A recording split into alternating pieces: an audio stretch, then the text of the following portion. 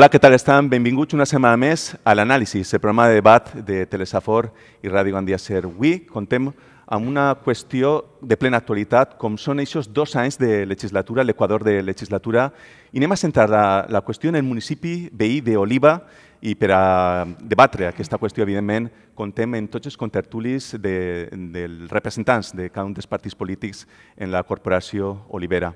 Iniciem la presentació per ordre de, de vots que vam mantindre en les últimes municipals de 2018 i per això iniciem aquesta presentació en Yolanda Pastor, que ja és la representant, la portaveu de Projecte Oliva. Yolanda, gràcies per estar amb nosaltres. Gràcies a vosaltres per convidar-nos. És un plaer estar així. De seguida tindrem també la presència de Josep Escrivà, eh, regidor i en aquest cas portaveu de, de Compromís. Seguim la presentació en aquest cas en Anna Morell, ella és la portaveu, vicealcaldessa del Partit Socialista, PSPB-PSOE. Anna, gràcies per estar amb nosaltres. No, bon dia, moltíssimes gràcies a vosaltres.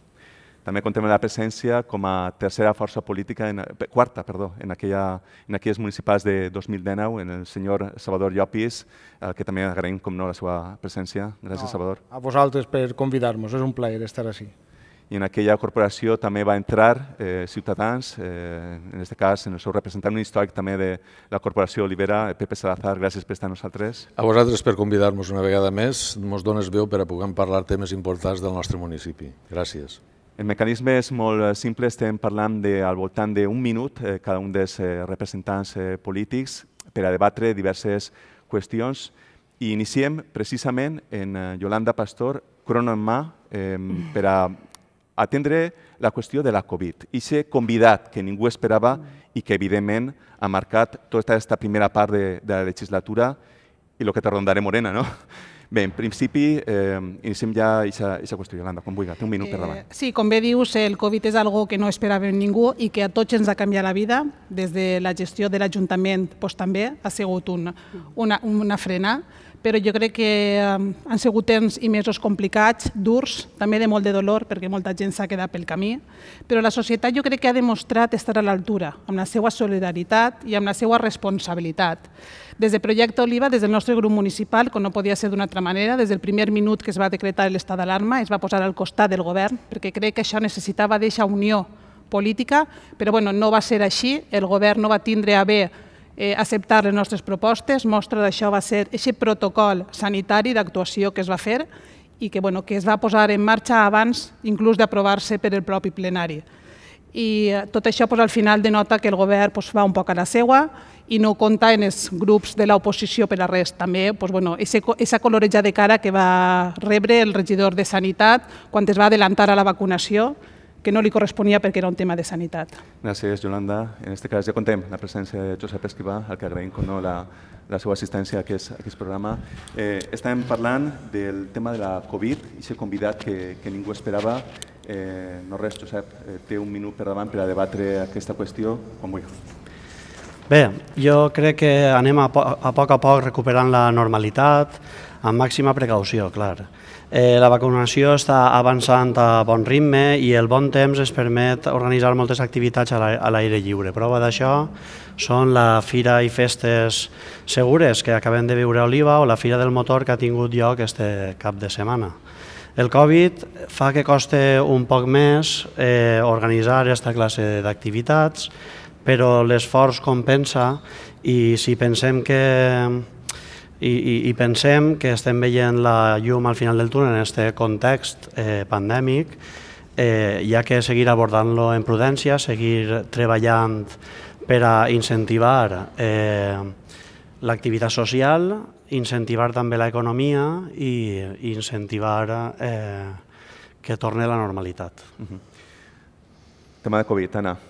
Bé, jo crec que eh, tots som conscients de, de la situació del cop tan gran que hem viscut a nivell mundial, de lo que ha suposat el Covid en la vida de cada un de nosaltres, però imaginem-nos també totes les administracions hem tingut que reorientar les nostres activitats i ens hem centrat en l'Ajuntament d'Oliva en la protecció, en la seguretat i en la lluita contra la Covid-19 i tot, totes les nostres gestions han, han estat dirigides a garantir aquesta seguretat i, i sobretot per a garantir la vida. I aquest ha sigut el treball que hem fet des del govern. És cert que el govern hem estat units, i vull dir-ho públicament, El govern d'Oliva, tant Compromís com el Partit Socialista, hem treballat conjuntament, colze a colze, la veritat, sense cap tipus de problema i en la màxima cohesió.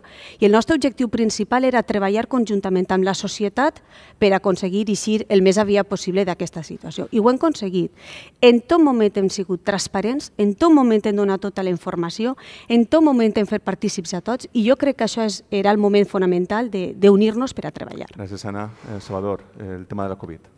Sí, eh, la Covid ha sigut, ha sigut pues, una pandèmia que lamentablement tots hem tingut que sofrir, tots hem sofrit aquesta pèrdua d'algun ser volgut o conegut, però també a mi em dona llàstima eh, pues, algunes paraules que estic sentint avui així perquè no són reals. I la Covid és molt sèria. Nosaltres des del primer moment el Partit Popular es va oferir a l'equip de govern per a buscar aquest consens i per a buscar aquesta ajuda. No la van voler, no ens van respectar les nostres propostes de protecció, i així es parla de protecció. I Enric, a mi m'agradaria, perquè és un tema ja que fa l'equip de govern, o part de l'equip de govern, parla d'aquesta protecció que avui del Covid, perquè és el que demanava el Partit Popular, protecció. Així tenim tres denúncies de la Guàrdia Civil cap a eh, que en les tres denúncies, l'únic que coincideix en aquestes tres denúncies és que la portaveu del grup socialista, la líder del grup socialista, i Genelles. Y digo así, en la tarde del 14 de mayo del año en curso, a las 15 horas, se mantuvo reunión en Dependencia del puesto principal de la Guardia Civil de Oliva con la vicealcaldesa de Oliva, no cumplint-se les mesures de seguretat en gràcies, un... En un... Gràcies, senyor Llopis. Eh, té també un mil per davant, senyor Salazar, respecte de la, de la Covid. Bé, la veritat és que, com ja han dit així, el Covid ha sigut una situació sobrevinguda que ningú esperava. Òbviament, el govern s'ha unit al voltant del govern, però l'oposició sempre ha estat un poc de costat. Tot i això, conforme ja han dit així, des del primer moment, per la nostra part, també tendirem la mà del govern per a fer propostes i portar entre tots a cap una situació complicada i difícil. No ha sigut així. El govern ha anat eh, al seu aire, l'oposició l'ha deixat de costat i moltes qüestions que s'haveren pogut resoldre fàcilment no ho han fet.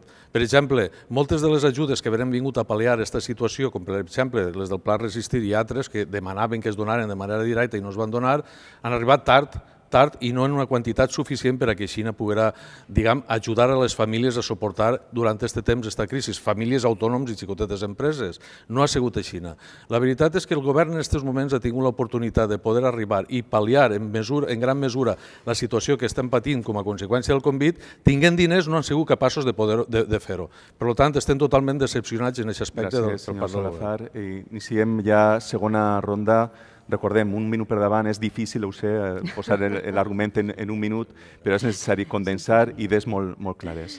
En qualsevol cas, anem a iniciar la segona ronda. Principals inversions i directrius per a superar la crisi en l'àmbit local durant els propers dos anys de mandat. Yolanda, té un minut per davant. Eh, sí, mm, tenim un govern a Oliva que no té cap projecte de ciutat i és un govern que passarà a la història per no tindre pressupost. Es va aprovar el pressupost l'any 2019 i avui continuem amb un pressupost prorrogat. Hi ha diners? Sí, l'Ajuntament està sanejat econòmicament, però això no vol dir que n'hi hagi capacitat de gestió. L'Ajuntament d'Oliva necessita una reforma estructural d'organització i estructura i donar una resposta àgil a tots els problemes urbanístics, administratius, el Departament d'Indústria i Activitats. Sense aquesta agilitat en l'administració, la, la ciutat no tira avant i els problemes del ciutadà no es resolen. No pot ser que una llicència urbanística tarde més d'un any. Per tant, si, si no s'aborda aquest tema de base, l'Ajuntament no, té, no té futur i el, i el govern viu dels titulars i de poca gestió.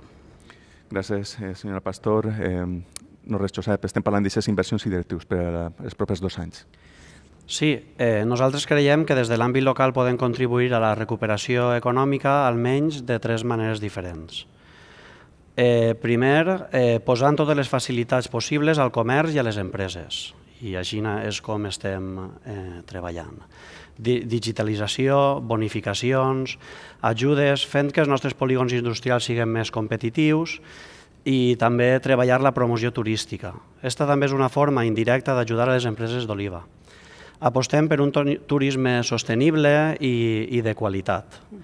També amb inversions directes que, a més d'incentivar l'economia, milloren les infraestructures i els serveis de la nostra ciutat i aquesta fórmula eh, creiem que té un benefici doble. Per això hem cregut convenient destinar eh, per a este fi una inversió de 5 milions d'euros, que és la més gran dels últims anys, no? que recordem, I l'última ja acaba, eh, incentivar la, la creació de llocs de treball en plans d'ocupació col·laborant amb la gràcies, Generalitat. Josep. Anna, un minut per davant, Sí, recordem, és, és, compli és complicat. No solapar-me perquè jo crec que el govern podem compartir eh, estors, és a dir, ell, eh, Josep s'ha centrat molt també en els motors econòmics de la ciutat d'Oliva, però Oliva és molt més que això i hem treballat moltíssim i, i això és un punt d'inflexió important d'un antes i un després en la nostra ciutat.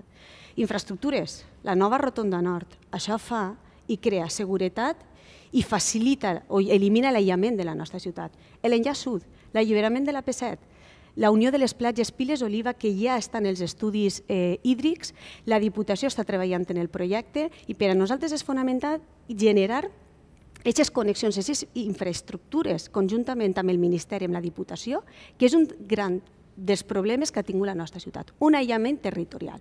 Hem trencat això i el que anem a lluitar és per el motor econòmic de futur que volem que sigui Oliva la industrialització i per a nosaltres és important treballar en la creació de nous polígons industrials que vindran i seran punts atractius per a noves empreses que generaran ocupació i en aquests moments generar ocupació és fonamental. Gràcies, Anna. Eh, Salvador, eh, estem parlant d'aquestes inversions per a Oliva. Sí, lamentablement el que estem veient avui així és el que veiem nosaltres tots els dies i volem que els nostres ciutadans ho veguen. Eh? És a dir, mucho anuncio y pocas nueces. L'Ajuntament té un problema, té un, un problema de que no, no està gestionant, no resol els problemes dels nostres ciutadans, no veuen l'oliva real. És oliva real que, degut a una pandèmia, eh, les, les gestions en l'Ajuntament s'han tingut que fer dels nostres ciutadans via telefònica, via telemàtica, i en comptes d'augmentar el personal, a millor en, en departaments tan importants com aquests, perquè els nostres ciutadans estiguen ben recolzats, eh, hem llevat personal de, de, del telèfon, la gent no, l'Ajuntament no respon als nostres ciutadans i conforme dit la meva companya, la senyora Pastor, no pot ser que una, en una població com Oliva, un gran poble com Oliva, una llicència ur, urbanística menor tarde més d'un any en ser contestada. Entonces, que ens parlen així de, de polígons i d'inversions, quan som incapaços ni de gestionar una simple llicència urbanística, pues la veritat que, que ens dona molta pena, perquè estic segur que es podria fer millor perquè tenim capacitat. Gràcies, Salvador. I tanca la primera ronda també una vegada més el senyor Salazar. Bé, la veritat és que, conforme ja he dit, el, este govern, tinguent diners, conforme hi una situació econòmica totalment sanejada, que és la que van deixar els que estagueren governant de la passada legislatura, deute zero, a més, en, eh, als bancs, no han sigut capaços de donar-li Oliva l'aire i el desenvolupament social econòmic que necessita a través d'aquestes inversions. Efectivament, ara volen invertir 5.300.000 euros, però que la veritat és que venen un poc no venen a resoldre aquesta situació de, de, de desenvolupament econòmic per a la nostra ciutat ni tan sols per als nostres joves crear una zona verdaderament d'oci per a que no se'n tinguin que anar fora a passar-ho bé en els seus ratos d'oci, llevant del de, de, el punt tranc i tot això. Bé, ni tan sols per als majors, ni tan sols per a les nostres indústries i, a més, estem parlant que hem sentit parlar de projectes que venen gestionats des de fa molts anys enrere, com és eh, l'accés sud, la lliberació de l'AP7, i a més, sí que és veritat, la Ronda Nord és l'única novetat al respecte que ve donant aquesta legislatura. Per tant, en les inversions que proposen solament van direccionades per a l'autobombo i l'autocomplacència d'un govern que no és capaç de gestionar Gràcies. ni tan sols en diners Gràcies, a les mans. senyor Salazar. Eh, iniciem la tercera ronda una vegada més en Yolanda. Confien en que Oliva experimente ese rebote en economía, al igual que va a pasar en la, la pronunciada caiguda per causa de la, de la Covid? Confiem i esperem, i esperem que, que així siga, perquè si no el govern haurà fracassat. El govern d'Oliva entra en un deute zero gràcies a l'esforç de la ciutadania la legislatura passada i gràcies a l'esforç de la bona gestió de qui conformàvem el govern la legislatura passada, com ja dic. Per tant, és un govern que té diners, més de 100 milions de remanent, que té un deute zero i això s'ha de traduir en ajudes a empreses i pimes, si el, que no està fent-ho el govern. Estem vivint de titulars, estem vivint de lo que Oliva necessita i els governants, tant a nivell autonòmic com a nivell nacional, tenen el dret de que arribi a Oliva les infraestructures que correspon. Què vol dir que Oliva no tenim res? Si sols ens hem conformat en l'alliberament de l'autopista i la rotonda, que hem pagat és l'Ajuntament, és a dir, la gent del poble ha pagat l'expropiació dels terrenys, dels terrenys, perdó. És a dir, tenim un, mini, un ministre de foment que estarà desvanit en este govern, perquè si una única rotonda que s'ha fet l'ha pagat el poble d'Oliva, pues bueno, pues entonces tenen un xollo en Oliva i no arriba cap, cap inversió Gràcies, més. Yolanda, Josep. Eh, I de l'economia? Sí, eh, esperem que la, amb la millora sanitària l'activitat turística recuperi la normalitat, esperem rebre principalment turisme eh, del país i nacional. Moltes famílies han estalviat diners durant el confinament i ara tenen moltes ganes de tornar a, a gaudir i consumir. Oliva és un bon destí per això. També la població local eh, contribuirà a aquest re, re, rebot, no? rebrot. Perdó. Davant de les dificultats de viatjar a l'estranger, moltes optaran en quedar-se en Oliva, ja que difícilment trobaran un millor destí eh, per així a prop. A més, el sector turístic compta amb un important sector agrari que eh, ha experimentat una expansió o sigui, perdó, abans de, de, a, a banda del sector turístic, contem amb un sector agrari que ha experimentat una expansió durant la pandèmia i en la millora de les infraestructures i gràcies a les polítiques agràries de l'Ajuntament que estem treballant en el pla local, eh, creiem que podran ser molt més competitives. Gràcies, Josep. Anna, el seu torn. Bé, jo parlo de realitats, perquè quan veiem la, la construcció de l'enllaç sud, de la rotonda nord, són realitats. Podem parlar també de que gràcies a un govern com tenim el govern central, també eh, ja tenim el projecte, el traçat de lo que va eliminar-se l'hostal de Tardà, aquest accés a Pego. Jo crec que són inversions reals. I gràcies al treball d'aquest govern hem aconseguit avanços en infraestructures. No vull deixar-me el pla edificant de centres escolars. Hem continuat invertint i no hem deixat que el Covid arrase les inversions en més de 6 milions d'euros per als nostres centres escolars. 1,3 milions d'euros que es van emprar del remanent dels sobrans del superàvit de l'Ajuntament d'Oliva en el 2020, perquè els diners no estan per a gastar en els bancs, perquè això no genera economia. Els diners estan per a emprar-los i per a millorar la ciutat. Enguany hem fet la major mobilització de diners, 5,3 milions d'euros que hem a invertir en manteniment en tots els barris de la ciutat d'Oliva. I ja ho ha dit també el portaveu de Compromís, és molt important el teixit de la nostra ciutat, el turisme, la indústria, el sector serveis, l'hostaleria i el comerç local. Gràcies, Anna. Eh, Salvador, el seu torn. Sí, la veritat que des del Partit Popular confiem, confiem en el nostre teixit empresarial i, i comercial. El que passa que no vegem aquesta confiança per part de, de l'equip de govern.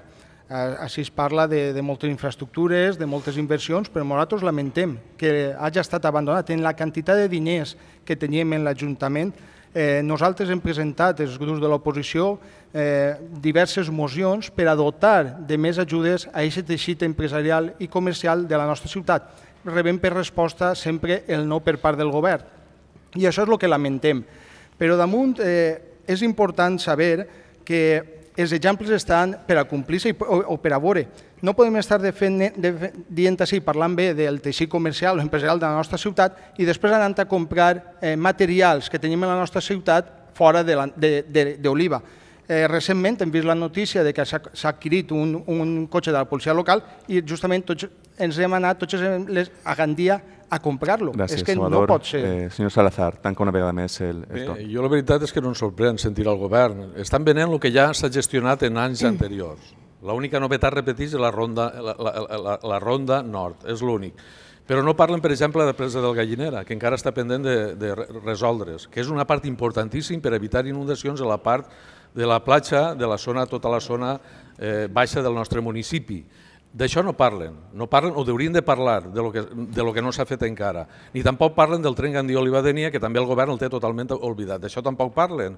I la veritat és que jo confio totalment en els nostres empresaris, en els nostres autònoms, en les nostres famílies, en l'estalvi de les famílies que sabran, i dels autònoms i empresaris que sabran invertir-los. La qual cosa que no ha sabut el govern municipal invertir això 5.300.000 per a donar precisament això, un aire diguem, de desenvolupament social i econòmic a la nostra ciutat i treure-la del pelotó d'aquesta situació a nivell comarcal. Per tant, deixa molt que desitjar este govern i a més tinguent en compte que una forma de revitalitzar l'economia local és actualitzant i o sigui, alleugerant la tramitació de qualsevol llicència urbanística que no s'està donant. Gràcies, gràcies senyor Salazar. Eh, recordem, un minut és complicat, però bé, en qualsevol cas, anem ja a la quarta qüestió. Política fiscal municipal. S'ha de lleugerar la càrrega que suporten les famílies oliveres per afavorir una millor recuperació. Yolanda, al seu torn. Sí, evidentment, eh, creiem que, com hem dit així, no? i tots tenim el denominador comú que l'Ajuntament d'Oliva està sanejat i té diners, això s'ha de traduir en l'ajuda tant a autònoms, a pimes, com per supost a les famílies. Però este govern què va fer? Va pujar els impostos i ja no els ha baixat. L'Ajuntament d'Oliva va pujar un 3,4% l'IBI, un 10% l'ICIO, i les plusvàlues va pujar un 150% que s'han pagat les plusvàlues, ara es va modificar en uns càlculs, en uns quadrants, que estaran en vigor, m'imagino que ara al mes de juliol, però durant més de dos anys s'han pagat un 150% més de les plusvàlues, de les herències, de quan es mor algun familiar i canvia de, de nom. Imagineu-se, l'Ajuntament ha ahorrat més de 1.700.000 euros, però què han fet en aquests diners? Res, treure-los de la butxaca del ciutadà i posar-los a la butxa de l'Ajuntament. Què ha rebut el poble? Res treure-li els diners, perquè pagar un 150% més de les plusvàlues durant més de dos anys, jo, cada un que pensa el que considere. I el ple edificant, senyora Morell, es va aprovar en l'any 2018. Gràcies, senyora Pastor. Eh, torna ara ja de Josep Esquiva. Eh, miren, sí, sí que estem fent algo en, en els impostos que paga la gent, perquè ja ho hem dit abans, hem mobilitzat una inversió de 5 milions d'euros, la, la més gran uh -huh. dels últims temps, i, i miren també, eh, pense i estic convençut que s'han de distribuir, redistribuir les càrregues fiscals, no? per tal d'eixir d'una manera sostinguda i equitativa. Eh, és a dir, la, la redistribució de la càrrega ha de fer que els que menys han sofrit la crisi siguin solidaris per a ajudar als que més l'han patit. Hi ha famílies que han vist la seva font d'ingressos mermada, els negocis que han tancat sense cap tipus d'activitat, i mentre altres han seguit amb certa normalitat i crec que és de justícia que els que més tenen ajuden als que estan més desfavorits. Gràcies, senyor Escrivà. Senyor Morell. Sí, per sumar un poc eh, les paraules del portaveu de Compromís, la política fiscal que hem eh, portat endavant ha sigut ajudar sempre i disminuir la càrrega fiscal, sobretot en època de Covid, a tots aquells que estaven patint una pitjor situació econòmica, les famílies més vulnerables que es van mobilitzar més de 300.000 euros del remanent per ajudar a les famílies, a aquells sectors, als comercials, bonos turístics, bonos de comerç. Eh, tot això està prenent-se mesures, s'han pres mesures. Ocupació del domini públic també, es va eliminar la tassa en la restauració i ara es crearà una subvenció també tant per a la restauració, per a l'hostaleria, com també per a la venda dels mercadillos, que també han passat una situació complicadíssima. Aleshores, la política fiscal per a nosaltres és el que més té, més aporta i el que menys té, doncs, pressupost, menys va aportar, perquè eh, el sistema públic es manté dels tributs. Però també es diuen mentires, és a dir, l'Ajuntament eh, en l'any 2020 va pujar un 3% l'IBI perquè perdien 300.000 euros de l'autopista, però va baixar un 6%. I les plusvàlies, senyora Pastor, no van incrementar, van incrementar Gràcies, quan vostès estaven al govern, eh, no en este govern. El, el seu torn. La veritat que és que, que parlem de diferents poblacions o diferents ajuntaments. La realitat és això. La realitat és que el primer que va fer este govern només va entrar va ser pujar impostos. Vulguen o no vulguen. I les normatives i els papers estan ahí per a comprovar-ho. És més, el rebuig de l'IBI que li se van ensenyar a la ponent d'Hisenda en el mateix plenari eh, trobo que es va deixar prou calladets per a amb aquests falsos anuncis de que anem a baixar impostos quan la gent cada vegada té més càrrega eh, d'impostos directes. I el pitjor de tot és que els impostos, és veritat, senyor Esquivà, estan per a gastar-se, però per a gastar-se bé, i no per a gastar-se en beneficis seus. Vostès es pugen un jornal del 25%, vostès contraten sis assessors eh, personals d'amigues seus dels seus partits, mentre la gent està passant-ho mal. I un any després ni tenim pressupostos, any no, anys després ni tenim pressupostos, ni hem sigut capaç de treure la contrata de la recollida de FEM. I tot això amb una pujada salvatge d'impostos. Aquesta és la gestió que de, de vostès estan fent? És lamentable el que estan sofrint els nostres ciutadans. Gràcies, senyor, Salazar, eh, senyor Llopi. Senyor Salazar, és seu torn. Bé, la veritat és que els diners, els diners el millor estan és a la butxaca dels nostres veïns, que paguen contribució.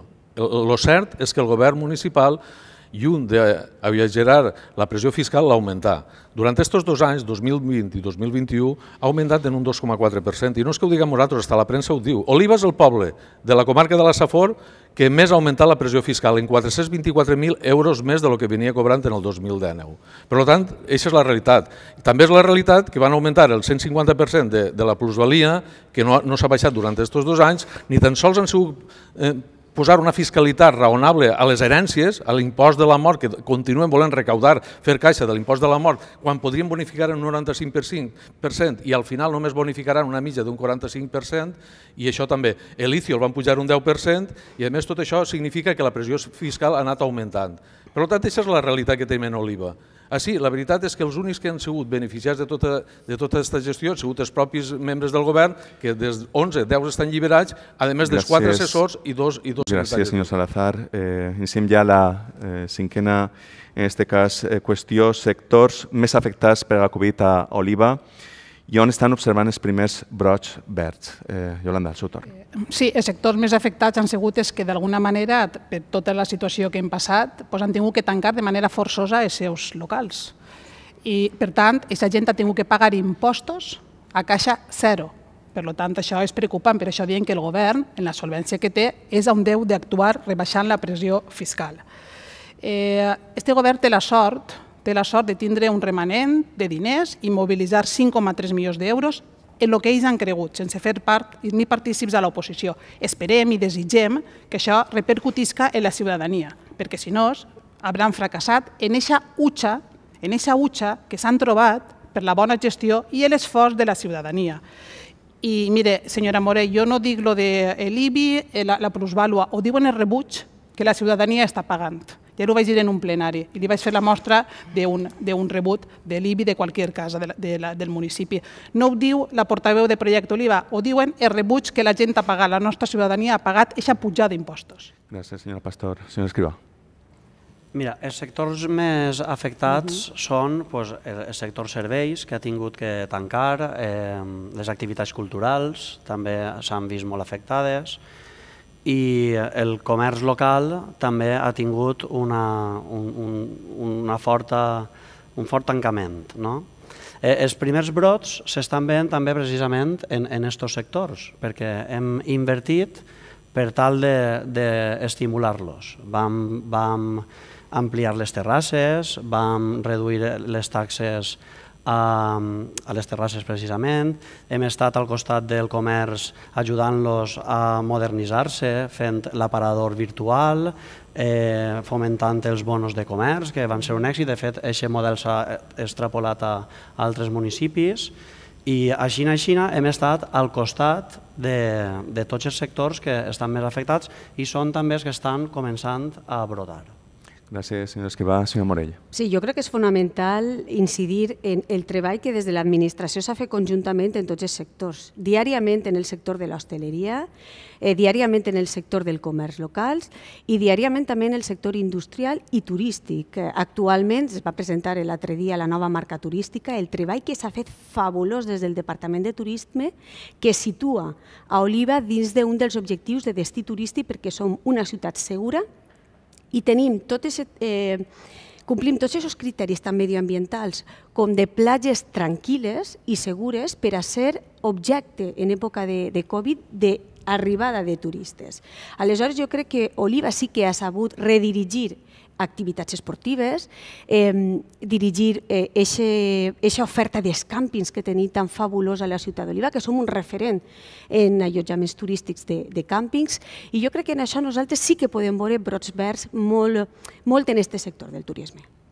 Gràcies, senyora Morell. Senyor, eh, senyor Llopis. Sí, jo crec que parlar de, de brots verds eh, crec que encara és un poc pronte i més per un poc de respecte a aquests empresaris que coneixen de diversos comerços que han tingut que tancar els seus llocs de treball, abandonar-los, perquè aquestes ajudes tan necessàries i que necessitaven i que a, a, a, alçant la veu demanaven, doncs no ha arribat en temps i forma. Eh, jo trobo que l'Ajuntament d'Oliva l'únic que ha fet ha sigut, eh, s'ha limitat a la normativa estatal, dia no treballat, pues, dia ajudat, però tenim que reconèixer que, posant l'exemple d'un mercat eh, exterior, un mercat municipal, per molt que, que monte la seva parada, per molt que vagi a vendre a les mesures de seguretat que hi havia, que, que toca haver-les, però eh, la seva venda baixava a més del 50% de lo que tenien. I aquestes persones necessitaven una ajuda, no sols de seguretat, sinó econòmica, perquè tenien que pagar els impostos d'igual forma, han continuat ajudant a, a, a l'Ajuntament en aquests impostos, però l'Ajuntament no ha retornat aquest benefici que ells Gràcies, han donat. Gràcies, senyor Llapi. Senyor Salsar. Bé, parlar de Boros Verds en aquests moments és molt aventurat. Òbviament, eh, el perdut, perdut està. Els nostres empresaris i autònoms el que han perdut difícilment ho recuperar i més tinguent en compte les exigües inversions que està portant a cap este govern. El dia 7 de gener d'enguany es va tancar perimetralment a Oliva.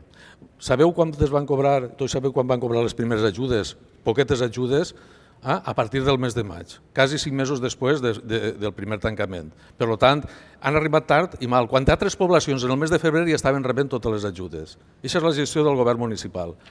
Poca, poca inversió i damunt tard. Aquesta és la realitat, no n'hi ha altra. Tot el més és voler vendre fum. Però bueno, cada un és conscient de la realitat i per tant pensem que efectivament a través de l'esforç que faran els nostres empresaris, els nostres autònoms, les nostres famílies, seran capaços poquet a poquet de recuperar lo perdut, alt en part, no del tot, perquè si per al govern fora difícilment podrien recuperar bueno, només que una xicotiva quantitat econòmica. Gràcies, senyor Salazar. Eh, iniciem una nova ronda, en aquest cas Oliva compta, evidentment, amb un potent sector turístic que ha quedat patent en esta, en esta taula.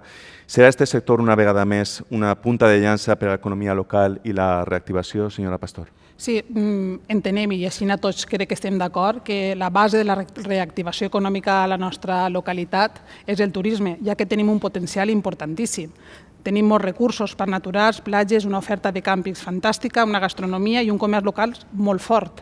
Per tant, una climatologia que tot l'any pràcticament fa bo durant tot l'any.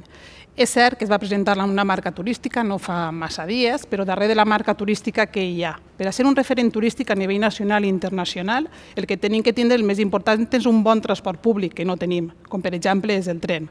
Serveis de neteja, infraestructures, entorns adequats, Després de la tempesta Glòria tenim un tros de, de passeig que va desfer la, la tempesta. Encara està per resoldre.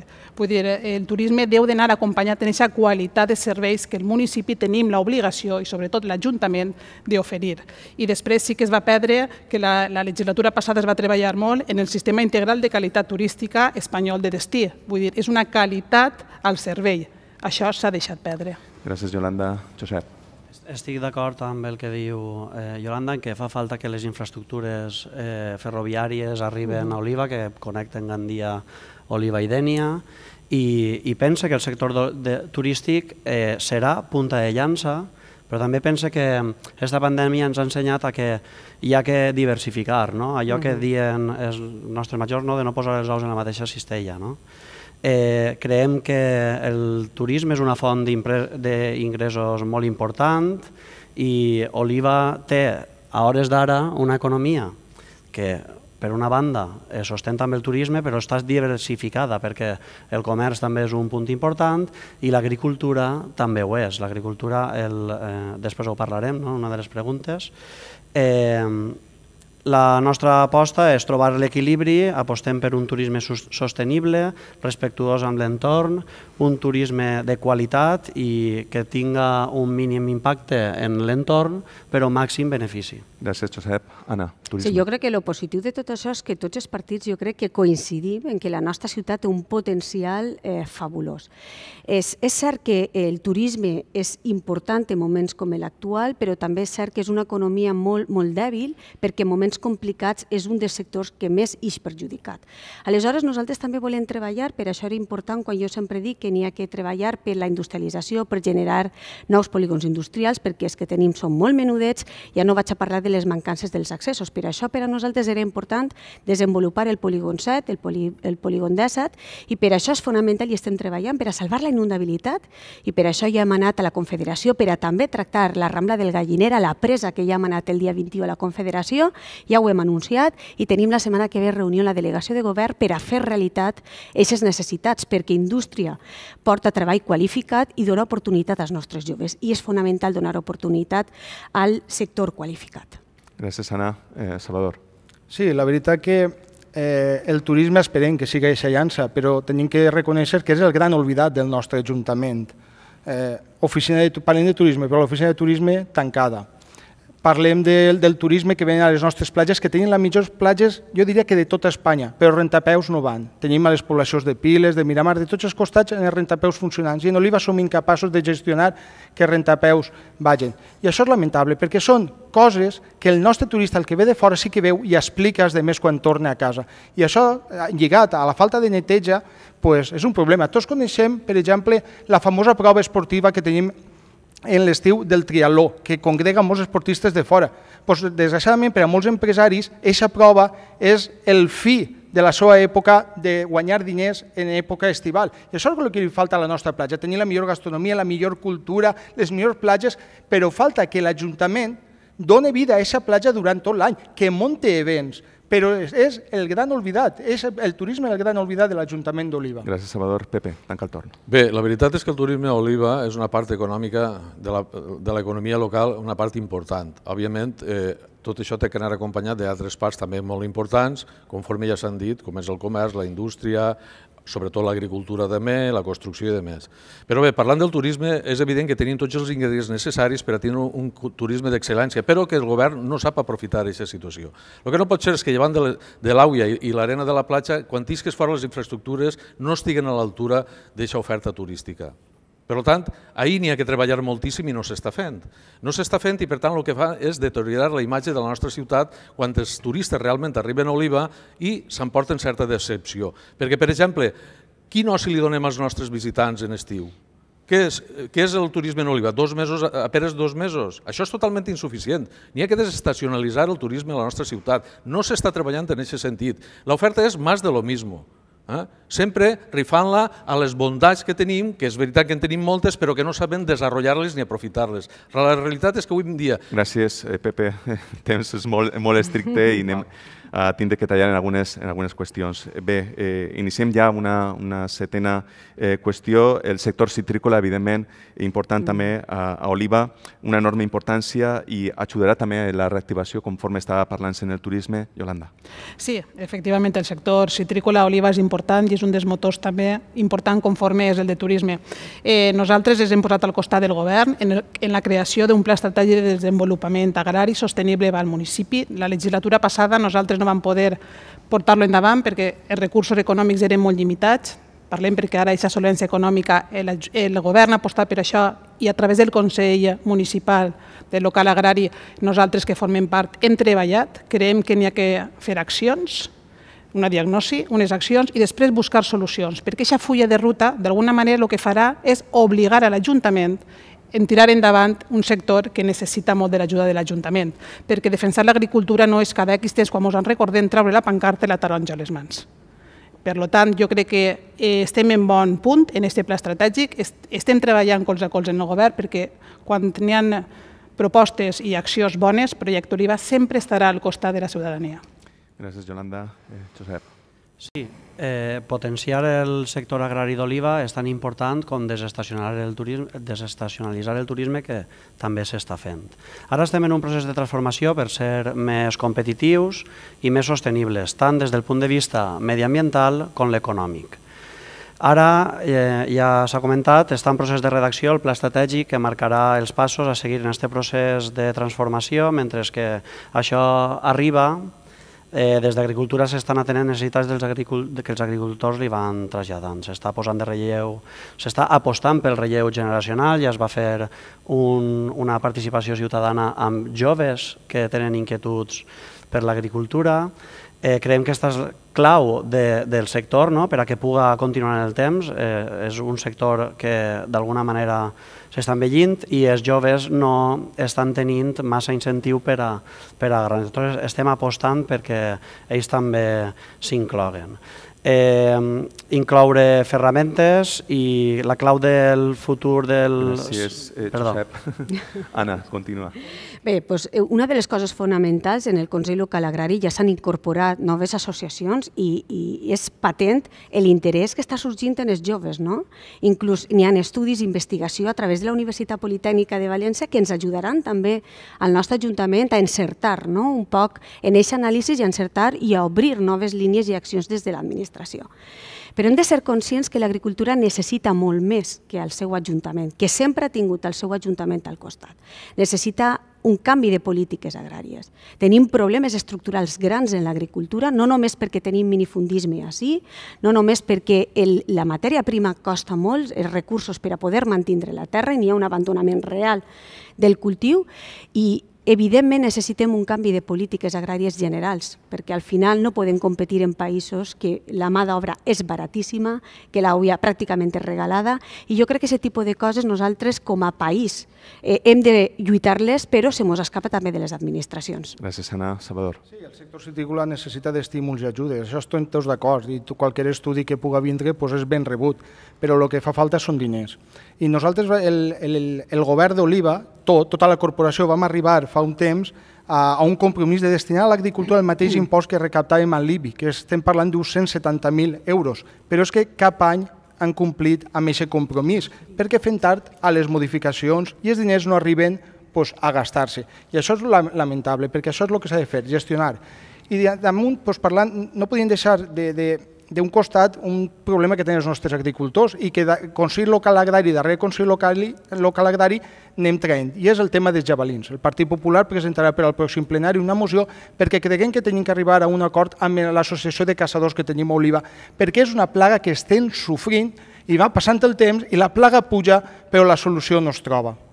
Gràcies, Salvador. Eh, senyor Salazar. Bé, el sector citícola històricament sempre ha sigut una part de l'economia molt important, continua sent-ho encara.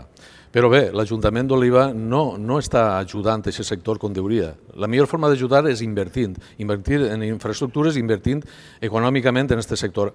Es va acordar que aquests 170.000 euros de l'IBI rústic anaren directament invertits, diguem, en vena a lo que és el sector agrícola local i no s'ha fet no s'ha fet per a res, ni tampoc s'ha donat la possibilitat de que es poguera fer un conveni en l'Associació de, de Caçadors d'Oliva per a combatre la plaga dels jabalins, que està destrossant moltes infraestructures agràries. Això tampoc s'ha fet. L'únic que se'n recorden de, del sector agrícola és quan arriben eleccions, perquè durant el resto del temps, llevant del pla este estratègic, que tot és, en fi, és un, és una, vamos, un estudi de la situació actual de l'agricultura, que poc d'alt o baix tots sabem quina és, que és nefasta, però llevat d'això no s'està fent pràcticament res més. Es rifa a un document escrit, però realment el que té que treure el sector agrari d'aquesta situació són les ajudes directes de l'Ajuntament i que no s'estan donant. Gràcies, Pepe. Yolanda, eh, tren Gandí, Oliva, Dènia i altres infraestructures de la ciutat. Sí, bé, eh, la connexió sur, que l'any 2013 tots els portaveus que conformàvem el, el, entonces l'Ajuntament vam estar en Madrid, vull dir, així de sur bé d'aquella reunió de l'any 2013, estem tots satisfets per supost, de que ja siga avui una realitat que està construint-se. La connexió Oliva-Piles, projecte Oliva va presentar una moció perquè quan aquesta connexió arribi siga en un en, en enllumenat, el clavegram, l'ample del vial com correspon, es va acceptar i crec que està treballant en aquesta direcció. L'alliberament de l'autopista AP7, vull dir, després de quasi 40 anys, crec que ja, ja s'han burlat prou. Eh, projectes com l'encreuament de l'hostal de Sant Jaume, perquè perilla la seguretat, i jo crec que els governs estan per això, per solventar problemes. I del tren Gandia a Olivadènia, pues bueno, pues jo tinc que dir que és una burla. És una burla a la ciutadania d'Oliva perquè al final els pactes, el pacte del botànic i els pactes que vindran, es fan i el primer que s'ha de fer és fer una relació dels problemes que tenim. No es fa una relació de potronis i sous i si me'n puc pujar a València millor que millor. Per tant, jo crec que el tren és una burla i el botànic... Gràcies, Yolanda. Eh, Josep, tren Gandia, Olivadènia i altres infraestructures. Sí, el tren és una infraestructura que es fa urgent. Està demostrat que el transport ferroviari és un dels mètodes més sostenibles que, que hi ha de transport i és, és necessari poder enllaçar Gandia, Oliva, Dènia per poder vertebrar eh, tot el País Valencià, generar oportunitats també de treball per a els, eh, les persones que viuen a Oliva. Actualment la dificultat, no? les persones que no tenen transport propi poden tindre dificultat en buscar treball en altres localitats i només poden optar al treball que hi ha en Oliva i això redueix molt les, les oportunitats. Amb, amb les infraestructures viàries, en Oliva ho hem tingut sempre prou clar. Creiem que cal eh, invertir en, en infraestructures viàries, però cal també aprofitar les que ja n'hi ha, eh, millorant-les i traient-los un partit un poc més, eh, més, més, més potent. potent sí.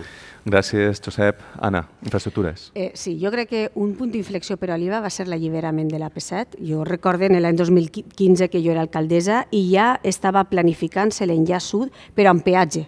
Una de les coses positives que va tindre este ministre és que directament es va carregar els peatges i el de l'enllaç sud i l'alliberament de l'AP7 ha sigut fonamental. Ja hem dit totes les connexions en el que este govern està treballant eh, per l'Hostal del Tardà, la Connexió Sur, eh, la Unió des Platges de Piles Oliva, siga per el poble siga per les platges, la presa del Gallinera, que ja dic que és fonamental, la nova depuradora, que estava paralitzat el projecte de construcció de la nova depuradora, que també serà fonamental per aconseguir aquesta aigua més barata per als nostres agricultors. Jo crec que aquest govern ha fet molt bé els seus deures en matèria d'infraestructures i hem avançat moltíssim. Hem de treballar també molt en transport interurbà, eh, potenciant l'ús de, la bici, de la bici com un transport a través de carrils bicis dins de la ciutat. Jo sempre he sigut en el, en el tren d'Oliva a Dènia molt, molt realista. És molt difícil i el veig gràcies, en aquests moments gràcies, poc, poc. El tren ni està ni se l'espera. Fins almenys que falten sis mesos per a les noves eleccions, unes noves eleccions i es comencen les reivindicacions de nou damunt l'escassíssima freqüència en autobusos, que estem en mínims històrics. Però mira, com tenim poc temps, jo no vull deixar passar este, este punt sense ensenyar una altra infraestructura d'una altra població. Per favor, Yolanda, m'agarres. Esta rotonda és de Favara, a l'eixida de l'autopista, com la que tenim en la rotonda nord en Oliva. Saps quina és la, la diferència entre una i altra? Que esta rotonda no ha passat per cap plenari. Esta rotonda, estos pinars, que valen un dineral, la, el poble de Favara no ha costat un euro. En canvi, la rotonda d'Oliva, la rotonda nord, que tantes donen, tants polítics han vingut a fotografiar-se, l'ha pagat el ciutadà. Ha pagat terrenys, que per cert, esos eh, propietaris encasten per cobrar aquests terrenys que l'Ajuntament. El manteniment de la rotonda d'Oliva, a diferència d'esta, també la paga l'Ajuntament. I això és lamentable, que tenim així un botànic per a fer favors al botànic de dalt. Mentre en altres poblacions on governen els mateixos partits, tenen la delicadea de lluitar per lo seu i que el Ministeri pague el que li correspon. Gràcies, Salvador. Pepe, tanca el torn. Bé, eh, el tren Gandia-Olivadènia pues, està en via morta, així és eh, clar. Ara, han estat el pla de Rodalies 2018-2025? Res. Les inversions per al 2000, en, el, en el projecte d'inversions del govern de l'Estat per, al, per al tren, 59.000 59 euros per al 2021. Això és una presa de pèl, és una burla. És una demanda històrica. I en via morta està, de la mateixa manera que també estem esperant la presa del Gallinera, el pont a Piles, la connexió amb Dènia també és de la Marina, i moltes coses que continuem esperant i que no es porten a cap. La veritat és que sí que s'està treballant i s'està treballant des de fa moltes legislatures en aquests projectes que s'acaben de dir per part del govern. No és cap novetat, però els governs que tenen la potestat de poder invertir i posar els diners necessaris per a desenvolupar aquestes infra infraestructures no s'està fent, no s'està portant a cap.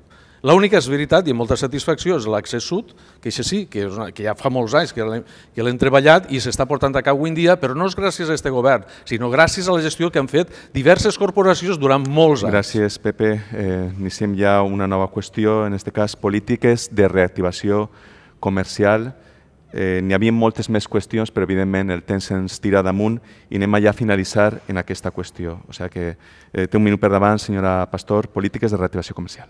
Eh, sí, pensem que des del govern sí que es va fer una campanya en els xats o en els boscs de, de, al comerç, però va ser insuficient, va ser una campanya poc, en poc espírit d'ajudar, allò va anar molt bé i els comerciants així no ho van dir, però ni s'ha fet, s'ha posat en marxa tampoc el bo a l'hostaleria, un, un sector que ha patit tant per la, perquè va tancar durant molt de temps els seus, els seus bars, restaurants, per, per tant pensem que no ha hagut una política valenta, perquè hi ha diners per a reactivar aquesta economia i al final s'ha de reactivar en el consum, perquè si no n'hi ha consum no n'hi ha reactivació econòmica.